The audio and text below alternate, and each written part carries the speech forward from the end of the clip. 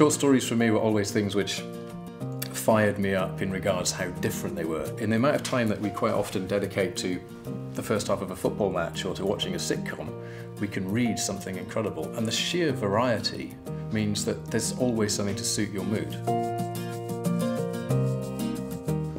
She sat stiffly, bolt upright, in the wooden church pew. Succeeds in just getting a very quick picture across to the reader. There are words here that are doing the same job. I'm just going to get rid of bolt upright.